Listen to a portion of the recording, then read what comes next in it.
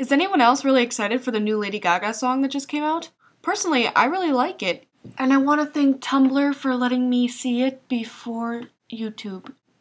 I'm on the right track, baby, cause I was born this way. I love it. I love it so much that I already have ideas to make a music video for it, but I'm not really sure if I'm allowed to do that yet because it's a very new song. But I'm pretty sure I can. I think I'm going to. Donuts. And yes, I'm totally going to make a big deal about this video being number 42. Yes. Anyone else excited? Or is it just me? Yeah, it's probably just me.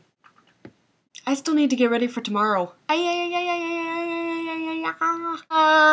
So I guess cue the fancy outro of cue the fancy outro of Bulbasaurness. It's a sharpener.